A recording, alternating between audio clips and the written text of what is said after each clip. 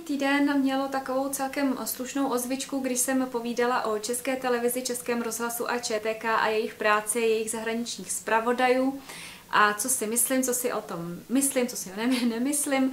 Uh, u obyčejných lidí tak toto řeknu, tedy lidí, kteří, ne, kteří nepracují v praxi, v branži, tak to mělo dobrý ohlas. U lidí, kteří, to, kteří eh, v branži pracují, to mělo takový smíšený. Někdo řekl, jo, jo, hezky jsi to řekla a někdo mi eh, řekl, ne, ne, ne, a nebo měli prostě připomínky. Jak já jsem si sepsala, tak Uh, jednak, a jo, a ještě potom, a ještě se vlastně vyskytly otázky, ale takže já jsem zjistila, že budu muset opravdu jako ten seriál o tom, jak fungují média, asi trošku rozšířit. Takže dneska jenom nějaké otázky. Zajímavá byla velmi otázka teda uh, uh, jedné paní, která psala mi, a ptala se a zároveň jsem potom ještě dostala vlastně obdobně formulovanou otázku a ta je, prosím vás, je, když teda ta, ta veřejnoprávní média takto fungují, tak uh, jaká vlastně média máme tedy poslouchat, aby jsme měli správné informace nebo tak. Tak to jsem si řekla, že z toho udělám úplně zvláštní. Uh, odkud, já bych to dokonce nazvala jako, já to nazvu jako video Odkud čerpat informace. Uh, Myslím si, že ano, sledujte média. Jo, teď to jenom schrnu. Ano, sledujte média, bez problému. Vyberte si, jaké, vy, vyberte si prostě, jaké médium se vám nejlíp poslouchá nebo čte. Uh, Určitě sledujte a vybírejte si i podle redaktorů, protože vždycky vám budou někteří sympatičnější než jiní. Určitě to určitě taky funguje. A, ale všechno, co vlastně si přečtete a tak, tak zkuste. A pokud to pro vás bude důležité, pokud je to pro vás důležité, hledejte původní zdroj. Vždycky si ověřujte původní zdroj, a to je úplně jednoduchý, řeknu úplně jednoduchou poučku. Jděte ke zdroji. Jděte na Twittery, Facebooky, přímo uh, sociální sítě nebo webové stránky, přímo třeba co se týče politiky, tak politiků nebo úřadů. Dívej, čtete si, čtěte si původní tiskové zprávy, dívejte se na původní tiskové konference, ne to, co je z toho vyděbaný, ale na celý. Je řada politiků, kteří už eh, kteří dávají jenom rozhovory, uh, když jim se zaručí, že to bude živě proto, aby, kdyby to bylo ze záznamu, aby se to nemohlo manipulovat. Například Tomio Okamura je tím známý.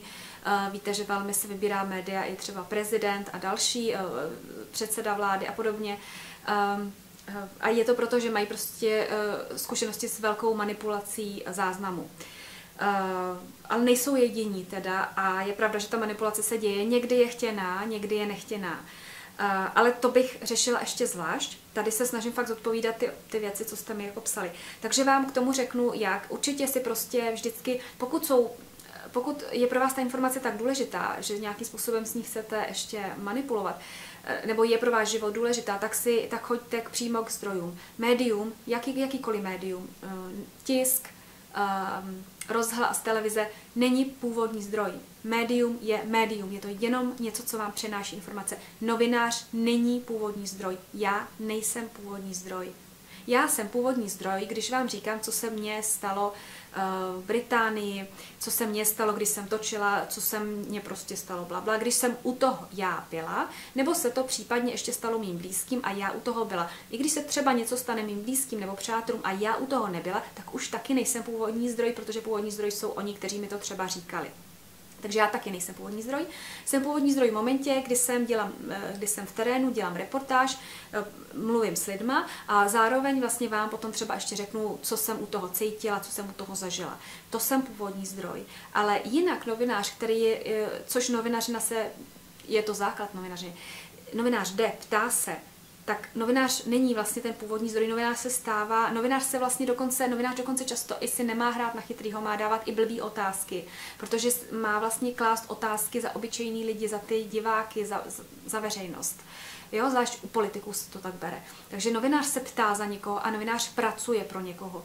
Podle listiny práv a svobod, um, podle novinářského etického kodexu, novinář má vlastně zprostředkovat, je to jeho mise, je to jeho mise, eh, má zprostředkovat eh, včasné, pravdivé a neskreslené informace. Včasné, pravdivé a neskreslené informace. Jak říkám, všechny tyhle věci si můžeme probrat ještě v jednom videu zvlášť. Eh, to připravuju, protože si myslím, že to je hodně zajímavý téma. Tohle je jenom kratince, když se mě teda ptáte, Takže vždycky si klaďte prostě otázku, říká mi, dá, předává mi ten novinář včasnou, tedy nějak nespožděnou, časově neskreslenou informaci, je skutečně pravdivá a není nějak zkreslená, nebo udělal ten novinář všechno, opravdu všechno proto, aby nebyla zkreslená. On třeba ji neskreslí, ale neudělá všechno pro to, aby nebyla zkreslená. A jak to jde udělat, aby nebyla informace zkreslená, nebo aby byla co nejméně zkreslená, protože určitýmu zkreslení se nikdy neubráníte. Tak eh, to se vám pokusím říct v dalších jaksi mých dílech. Tak, vždycky budu každý týden dávat něco o médiích, takže užijete si moji milí. Um, tak, um, jo, jo, jo, já bych z tohle téma asi utekla. Uh, jo, já jsem si totiž udělala no, jako, jako hodně, hodně poznámek, ještě to z toho všechno připravuju. Tak, um, další věc, co jste se mě ptali. A jo, eh, když jsem vlastně navrhovala, jestli je vůbec otázka, jestli mají mít eh, veřejnoprávní média, eh, není teď přímo se říkat o ČTK i veřejnoprávní médium, že ale je to médium a de facto je taky veřejnoprávní, když ji přímo neplatíte vy, ale platíte ji nepřímo, tak a ČTK je trošičku něco jiného malinko ještě než rozhlas a česká televize. Protože zatímco rozhlas a česká televize více-méně nemusí opravdu vlastně žijou více méně z vašich příspěvečků, kde žebrají a když nedáte, tak exekuce. A tak um, ty opravdu žijou na tomhle. Jo? Jasně, pak mají třeba nějaký e-shop s nějakýma jako svýma produktama, jo, to je minimum a to není velký příjem, zase až co se týče v objemu toho, co potřebují, aby přežili. Ale ČTK ještě něco trošičku jiného. ČTK malinko funguje ještě i jako obchodní společnost, jako agentura, čili ona opravdu prodává. Jo, veškerá ta rádia, když jsem dělala v audio studiu krátce v ČTK, vlastně, kde, kde děláte editora, kde mám vlastně všichni ty redaktoři, kteří dneska vlastně všichni, každý redaktor eh, četek, četky má uh, nahrávadlo, že jo, má, kam jsem dala to svý, jsem chtěla ukázat, jak to vypadá. Eh, každý redaktor z četky má vlastně obdobný nahrávadlo eh, jako, jako rozhlasový, jako z českého rozhlasu. Je, většinou je to bráška tohohle, jo. Tohle je H1, oni mají většinou H2, eh, prostě dá, většinou to musíte dát co nejvíc k, plus, k puse toho mluveného, aby, aby vlastně tam byl co nejmenší šum, nejlepší zvuk jste chytli a tak dále. Tak. A jo, a proč to říkám? No a oni vlastně e, zároveň, kromě toho, že potom z toho napíšou četkaři zprávu, tak vlastně maj, pošlou do toho audiostudia krátký jakoby příspěveček k tomu, který vy vlastně v tom audiostudiu lehce upravíte pro určitých pravidel, zkontrolujete tam všechno napsal a tak dál, doplníte nějaké věci a přepošlete to vlastně všem rádi. Když tam tehdy byla, což už je asi 10 let nebo tak, tak se to tehdy posílalo asi 50 rádí v Čechách, byli přihlášení e, k, audiosprávám, kromě rozhlasu, rozhlasy jsem dostává jenom ty normální, ne, ne, ne audio, jenom texty eh, odebírá. A všechny ty rádia, protože to ale říkám, eh, všechny ty rádia, které odebírají, tak se to platí. Jo, za ten servis četky se platí, jak za informační, tak eh, tedy textový, tak pak máte ještě obrá, plus obrázky a pak tam máte ještě databanku, tak to je složitější, ještě videobanku, která se potom relativně novně plus 10 let zpátky dělala, je to víc než 10 let. Asi 2007 to tenkrát bylo, když jsem zakládala ta redakce. A um, redakce audio, video. No a tyto prostě posílá se, to bylo přihlášených asi 50 rádí soukromých, nevím, jestli to je dneska stejný, protože mi přijde, že, se, že ten trend je e, celosvětový, jako že se skupujou.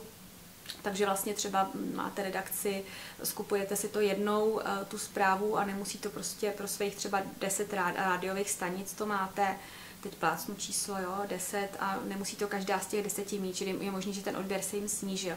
Ale ty rády si to platí, to znamená, ten servis pravidelný, že jim to vlastně takhle posíláte. A plus si vlastně platí i ve všechny redakce, eh, si většinou platí ještě servis četky, tištěné, kde dokonce i máte, že se podíváte, co se třeba děje, kdy, kdy je jaká tiskovka, kdy kde je něco prostě důležitého, nějaký briefing a, a tak dál. Ale tyhle informace, k těm se můžete taky dostat prostě i jinak, když se prostě normálně poprosíte, aby vás přidali do, do svého listu rozesílání na tiskové konference a podobný, nebo tiskové zprávy prostě všech různých institucích, tak to taky jde. Ale to já většinou říkám v PR, jako o tom, jak dělat PR, tak kurzech, takže to asi nebudu teď vysvětlovat. Ale eh, funguje to. Tak, um, dál. Takže eh, četka tím pádem vlastně není závislá jenom úplně stoprocentně na penězích daňových poplatníků, ale má tedy i tenhle ten vlastně servis. A taky je to na tom trošku vidět, že četka má větší tendenci, mám pocit, chovat se jakoby víc, má takový klientský přístup víc, eh, protože vlastně jejím eh, četka, zatímco Česká televize a Český rozhlas, tak pro ty klienty vy, tak pro Četku jsou klienti média. Jo?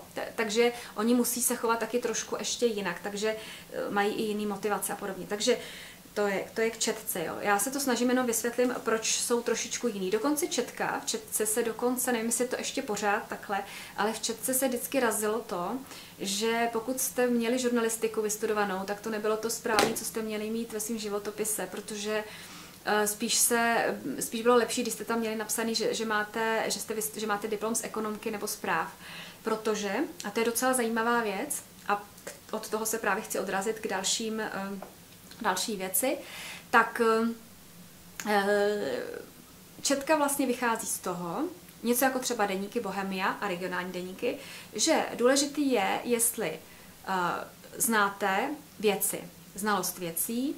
U regionálních redaktorů, když vás přijímají do regionální redakce, jakýhokoliv, čehokoliv, tak potřebují, abyste, abyste měli oči otevřený, abyste co nejvíc znali ne, o, o regionu, abyste vlastně chtěli být obeznámený věcmi, abyste měli takovou zvídavou povahu a nebyli, neměl být, být problém eh, pro vás s někým mluvit, začít mluvit a zjišťovat informace, ptát se lidí, povídat si s nimi a tak. To je vlastně ten největší benefit pro novináře. Umět komunikovat s lidma, být zvědavý přirozeně, a, ale přirozeně, jo, ne zase jako až vezlej, to byste neměli. A, a naslouchat lidem. Jo? Novinář by měl víc poslouchat, než mluvit. Jo? Vždycky poznáte podle toho dobrýho novináře. Dobrý novinář víc eh, poslouchá, než mluví, což možná, když si poslechnete moje videa, tak uh, máte pocit, že jako hodně mluvím. Jeden pár mi jenom napsal, Ježíš Maria, ty, ale jede huba. A, no jede, ale věřte mi, že když pak někoho poslouchám, tak, tak eh, to je zase něco jiného, že jo. Tak doufám, že to taky se mnou tak zlý ještě nebude. Uh, takže musíte být dobrý posluchač. A plus samozřejmě důležitý, abyste se uměli vyjádřit, čili ty získané myšlenky předat, čili ideálně dobře psát. A já si vzpomínám, že jsem přecházela uh, z psané žurnalistiky na, na audiovizuální, že se mě tenkrát uh, jeden dramaturg se mě zeptal, a proč vy chcete teď točit místo psaní? Myslíte si, že neumíte psát? Já jsem tenkrát koukala, říkala jsem si, no já myslím, že já umím psát, a, nebo teda jsme si to myslím a jsem jako ráda, že píšu, ale jako chci mít ještě jiné možnosti vyjádření. Mám pocit, že prostě už mi, jako by už mi nestačilo jenom psát, tak to jsem řekla, že chci i točit. Si vzpomínám, že to si vzpomínám, že byla taková jako důležitá otázka tenkrát, že mi dali. No a vy to musíte prostě nějak zpracovat, tu informaci. Když prostě Uh, jo, buď musíte dobře, musíte umět dobře psát, čili musíte dobře napsat, a stejně musíte umět dobře psát, abyste si mohli i napsat třeba, nebo aspoň si dát zhruba dohromady, co řeknete, když je to třeba stand-up na kameru. A jako třeba já, já většinou mývám jako takovýhle nějaký zápisky, který ani možná si ne, to prostě většinou měla nějaký bodáky, jo, já mám spoustu lístečků všude, vždycky si někde napíšu jaký lístečky, kterých vidíte, že stejně nekoukám. Já tady sice mám tohle to držím, už vlastně ani nevím, proč to držím. A že zásadou, zásadou je nikdy si nepsat celý, celý projevy, nebo co chcete říct, že jo. Jako vždycky důležitý je prostě pamatovat si to v bodech. Tak a pak vlastně mluvit jako o těch tématech. Takže eh, jo, takže musíte stand-up mít a podobně. Eh, a i vlastně pak, když třeba dáváte dohromady tu reportáž, tak si napíšete body, prostě tohle dám jako první, tohle dám, tohle, nesmím zapomenout tohle tematicky, ten řekl tohle, ten tohle. Takže už si to vlastně potom poskládáte. Takže takhle to jsou vlastně důležité věci, které eh, vlastně taková přirozená logičnost. A to ta četka vlastně dělá, že teda chce, aby ty lidi se vyznali v právu nebo případně v ekonomii, což jsou vlastně ty hlavní věci, co četka samozřejmě potřebuje řešit, a oblasti, který, o kterých potřebuje informovat. No a vlastně oni už si potom zaučí vždycky toho dotyčního, protože to novinařina je řemeslo. Jo? Novinařinu naučíte. Já jsem novinařinu byla schopná naučit dokonce i desetiletý děti základy. Je to trošku větší fůška, děláte to jiným způsobem, ale je to možný. Jo? Naučíte to děti po nějaký době, e, naučíte to dospělí, jako dá se, novinařina se dá naučit, dá se dokonce naučit prostě, abyste, i když nemáte pro to oko, abyste byl aspoň velmi průměrný a solidní fotograf. A samozřejmě pokud proto máte oko, tak můžete být perfektní fotograf. A tohle to všechno jsou vlastně věci, které se dají naučit. Čili uh, proč, to i, proč to i říkám? Říkám to zároveň proto, že to mám jako takový oslý mustek, že třeba ta ČTK to dělá, dělají to regionální média, protože do regionu málo kdy dostanete třeba vystudovaného novináře a navíc to, že někdo je vystudovaný novinář, ještě jako nezaručí vám, že eh, že bude doopravdy dobrý novinář v tom provozu. Já jsem třeba šla studovat eh, vlastně novinařinu, až když jsem měla praxi. Jo, já jsem vlastně měla Eh, dva, dvou, tří letou praxi, už když jsem šla studovat. Takže já jsem už za sebou měla prostě nějaký přes, sto, přes stovku článků napsaných a měla jsem praxi v denní, jako opravdu při denní, zá, podle mě denní zpravodajství je základ, abyste věděli, co to dělá, co s váma udělá jako uzávěrka dennodenní. Takže, to, to, mm, takže jako já jsem brala žurnalistiku spíš jako takový právní základ, kde jsem se učila jako věci a taky proto jsem rychle šla jako na, na další, protože jsem si říkala, nebudu jenom psát, budu to učit a tak. Takže eh, takže dá se to prostě naučit. A proč to říkám? Já jsem minule mluvila o těch um, zahraničních zpravodajích. A um, samozřejmě, že, že prostě nejčastější argument většinou právě kolegů z praxe byl, z branže byl, no přece tam přece, jako, když já jsem tam říkala, puste si to, když tak potom vám dám odkaz uh, na konci videa, a no přece tam nebudeš dát, přece jako jenom, mm, já, já, jako já to strašně rád čtu uh, občas nebo takhle, asi nás to čte málo, ale prostě je to zajímavý. A já říkám jako dobrý, ten zápisník zahraničního zpravda je jako hezký, ale vlastně na to tam nepotřebujete mít nikoho, opravdu tam můžete poslat jenom nebo třeba nějakého cestovatele, ale alias, já nevím, Petr Horký a podobně, který to dělají potom v rámci dokumentů, že udělají dokumenty ze zemí, kde cestovali. A pak zase je argument, no ale tak nějakého insidera, ono je to taky zní jako, jo, dobře, než cestovatel insider, dobrý, taky jiný pohled. Ale to, to právě, když se podívejte, kolik Čechů jenom žije v Británii. Spoustu, spousta Čechů, kteří jsou třeba pracují na univerzitách nebo studují, eh, dělají v jakýchkoliv možných prostě představitelných branžích, ve fashion, v, v high-tech technology. Je jako spousta velmi zajímavých lidí, a nebo prostě lidí, kteří přijeli si jenom třeba vydělat a tak, ale mají třeba taky nějaký básnický střevo. Je spousta lidí, nebo jiný střevo, ale jsou, je spousta lidí, který prostě v Británii je a vy můžete vlastně někoho si najít a kdo, kdo třeba nej, nejzajímavější umí prostě povídat o tom a tak a můžete si ho právě třeba takhle zaškolit, jo? že vám teda může dělat toho insidera a jednou za čas dělat zpravodajství, protože, jak jsem říkala, problém zahraničních zpravodajů je, že vy je nevyužijete na 100%. Vy je tady jako máte co, co s, s zahraničním zpravodajem z Londýna. Já vám řeknu, že během týdne, během měsíce jsou, jsou vždycky dny, kde je něco zajímavého, něco každý den v parlamentu a tak, a něco se děje. Ale třeba teďko, jako v týdnu nebo takhle, je spousta dnů, kdy se toho neděje, neděje skoro nic. A ten zpravodaj co? Ten zpravodaj tam je, je placený a co? tak vy jdete a řeknete, no ale uh, tak on samozřejmě musí, protože má nějakou smlouvu, tak musí posílat třeba určitý počet článků, buď denně nebo týdně. A prostě víceméně si těch pět dnů v týdnu by se měl odpracovat, že za ně zaplacený většinou, že jo? Záleží na tom, jaký udělá ta smlouva, ale v momentě, kdy už někoho někde jako platíte externě, vlastně dáváte mu příspěvky na bydlení, nebo mu platíte byt, nebo máte pronajatý byt v té zemi, kde, který on využívá podobně, jaký, když každý médium to má trošičku jinak, e, tak, e, takže vlastně e, pak si musíte spočítat, jestli teda vám se vyplatí držet toho zpravodaje, protože vlastně, když máte, on by měl dát teda stejný počet článků, jako, jako dá za den článku nebo výstupu, za den nebo za týden, jako dá vlastně jeho kolega třeba řekněme v pražské redakci nebo v regionální redakci. A v momentě, kdy vy musíte dát jako třeba, den, eh, já nevím, tři články denně odevzdat, dva, tři články denně, podle toho, pro jaký médium pracujete, podle toho, jak jsou velký, na čem pracujete, tak jako, co odevzdá tenhle ten člověk, jo? Nebo podívejte se na rozhlasový krajánky, kolik toho musí naposílat, jako jakou oni mají hoňku. A Teď si řeknete, jako co tam teda dělají, jo? Tak jako oni jedou, nebo pak si třeba jedete a oni si odjedou do Skotska. No to, to je ten článek, jak jsem vám tam dávala, jako nebo ta reportáž o těch dudách, o dudách. Já se o tom zmiňuji znovu, ty dudy. A já vám řeknu proč. Protože já si říkám, proč? Proč? Uh, z Londýna jel tenhle ten uh, zpravodaj, ten Jaromír Marek, proč on jel do Skotska dělat reportáž o českých dudách? Myslím, že to bylo v Edimbu- z Edinburgu. Proč jel do Edinburgu? Víte, proč je to tak rozčiluje? Já vám řeknu proč. Protože se mu zaplatila cesta do Edinburgu a zpátky a já se ptám proč.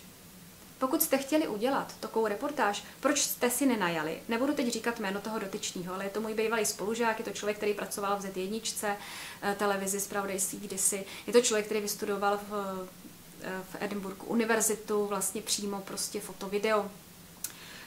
je to člověk, prostě, který umí dělat reportáže a který spolupracuje občas s českou televizí, ale ne na spravodajství, ale vlastně na, myslím, že v teleobjektivu, nějaký, anebo když občas něco je, tak vlastně vím, že mě třeba, os, vím, že hledal třeba někoho, když bylo referendum, tak jim pomáhal hledat vlastně lidi, kteří jsou jako respondenty, kteří jsou pro, protože ve, ve Skotsku nemohli najít nikoho, kdo by byl uh, pro Brexit, že jo, jako respondenta na to, což jako chápu, tak to jo.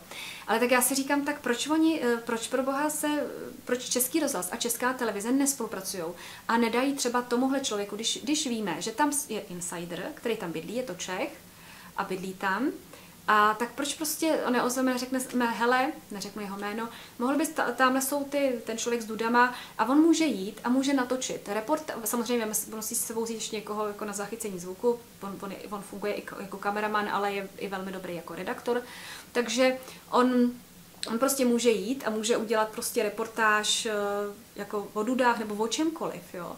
A hotovo 20 prostě může nabrat zvuk pro rozhlas, může udělat jako, může nabrat zvuk jako pro kameru a za jedny peníze prostě v podstatě může udělat jako hodně muziky jak pro, a může to poslat prostě do Prahy. Zvuk pošle českému rozhlasu plus nějakou fotku vyextrahuje z toho nebo udělá a, a audio materiály, buď audio materiály RAW, jakože nespracovaný, anebo to zpracuje do reportáže, to pošle do Prahy. A máte prostě, jako jeden redaktor vám udělá pro dvě média. Rozumíte mi? A tím ušetříte přece.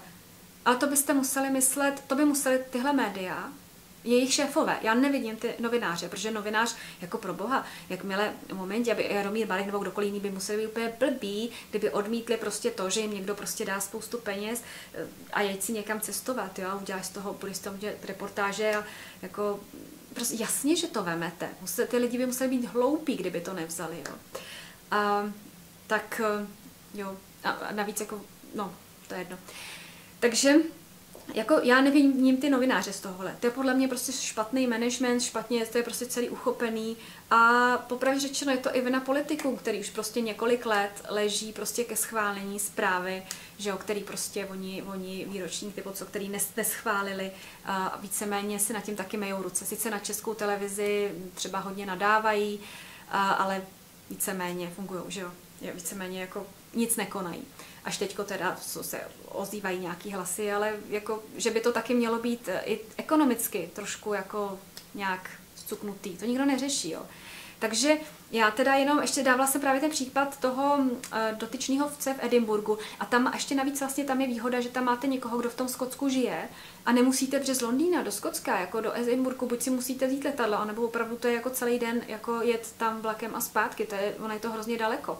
A takže je to i nesmyslný. Takže proč, když máte někoho ve Skotsku, jo, on ten dotyčný sice je jako extrémní remajnista, úplně opak než ode mě, ale vidíte, že i přes toho třeba v uvozovkách doporučuju, protože si myslím, že to je insider a myslím si, že je schopný udělat tu zprávu prostě tak, aby byla relativně neutrální. A nebo prostě tak si jako přizná, že je remain, to je jedno. Jako ve Skotsku to je fouk, tam jsou remainisti všichni. Skoro.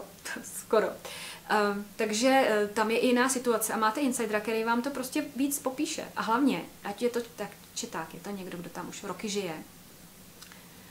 A je to někdo, kdo vám ušetří peníze a nemusíte tam posílat někoho z Londýna.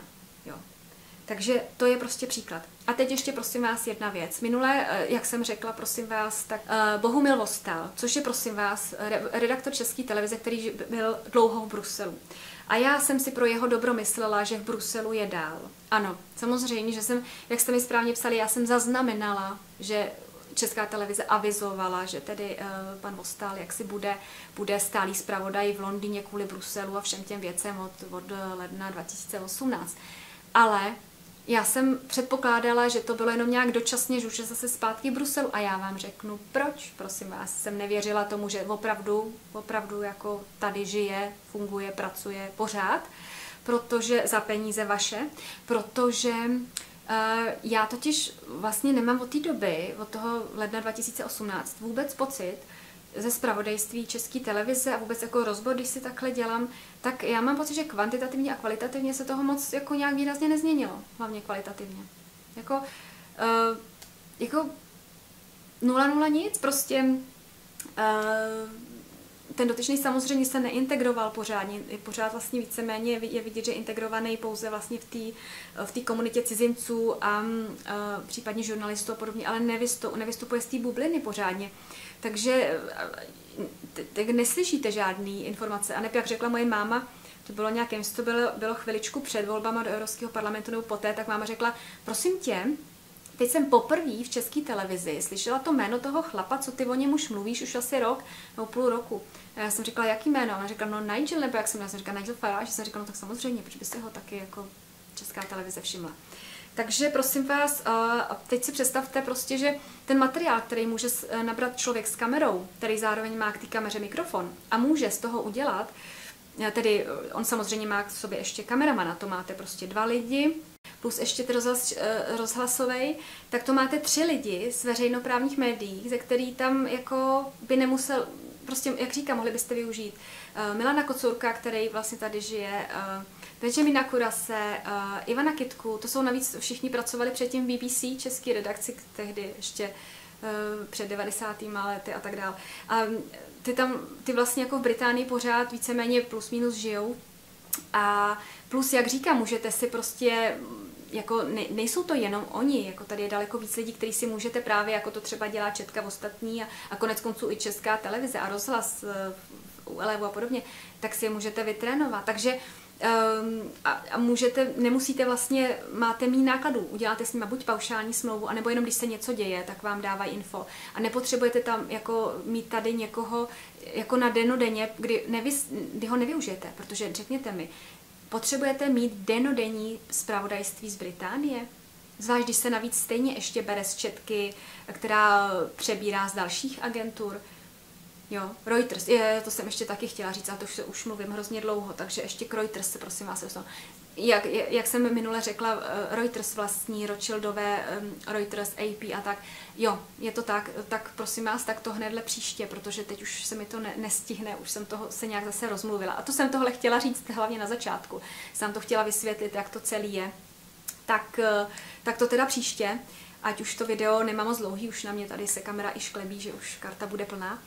Takže takže eh, takhle jednoduše to můžete prostě všechno jako zcuknout a ty redaktory, já neříkám, že to jsou jako špatní lidi nebo něco, já jim ten job samozřejmě přeju, ale přijde mi opravdu absurdní, eh, aby aby se platilo tohle to všechno. Jo. A kameramana taky můžete mít místního. Nemluvím o tom, že jako Ivan Kitka je navíc velmi dobrý kameraman, například. Jo.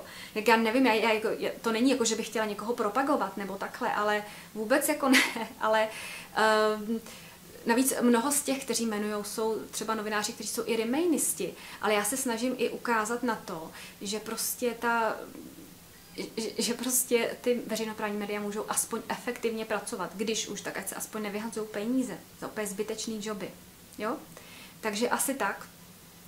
No a jo, já to asi budu muset už uzavřít, protože to video je nějaký dlouhý, hrozně jsem se rozmluvila. Teď se ještě rychle podívám, co mi tam Jo, zahraniční, um, jo, dobrý, no, tak to Reuters teda fakt až na příště a další věci.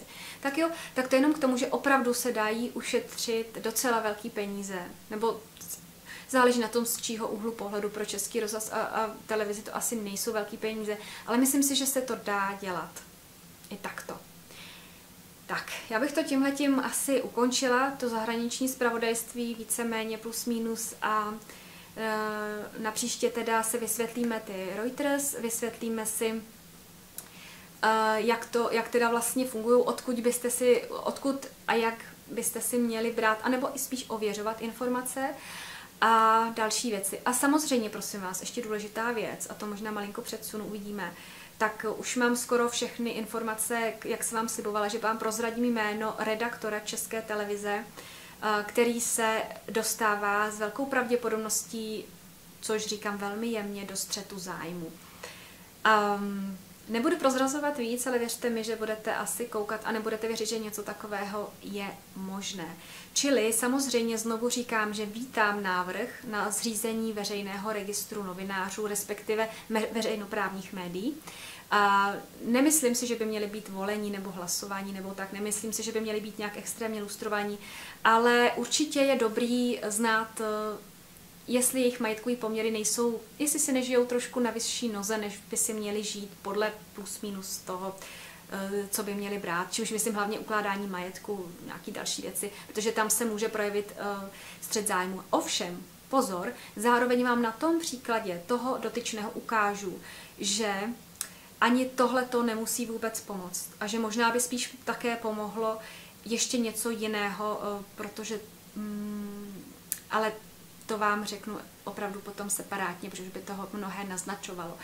Tak, um, ale věřte mi, že určitě si myslím, že uh, novináři pouze veřejnoprávních médií, ostatních soukromých médií, to je úplně věc jiná, ale pokud si někoho platíte, tak není absolutně důvod, abyste neznali výši jeho platu a podobně. Pokud některý novinář nechce, aby z veřejnoprávních médií nechce, aby byla výše jeho platu známa, pak může odejít do médií, do soukromého sektoru kde ho prostě bude platit někdo jiný, tam už je to jiného, něco jiného. Že? Ale v momentě, kdy berete peníze od někoho, od lidí, tak prostě máte k ním určité povinnosti.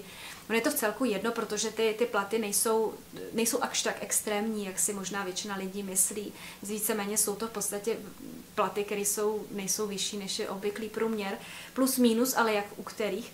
A jak říkám, minimálně jeden redaktor České televize, já se trošku bojím, že nebude možná jediný, ale u toho jednoho dotyčného mám velmi zajímavé velmi zajímavý příběh, celý obrázek a dává, zasadím vám to do, do veškerých souvislostí a dala jsem si práci a hezky jsem to všecko vysledovala a vlastně je to pro mě docela smutný, protože dotyčního osobně znám a Není to pro mě vlastně moc veselá věc, je to smutný. Ale věřte mi, že dotyčný inkasuje od, veři, od z veřejného sektoru, nejen od vás, co koukáte na českou televizi, ale i od veškerých plátců, veškerých daní, daňových poplatníků. Velmi velké sumičky. Původně jsem si říkala, že do toho nepůjdu, že jsem si myslela, že inkasuje, že tak nějak, jako jsou to nějaký desetitisíce, který možná jako nalezli do těch sta tisíců, ale v momentě, kdy jsem zjistila, že dotyčný redaktor už jde do milionů, tak tam bohužel už jako to už trošičku přeťápl.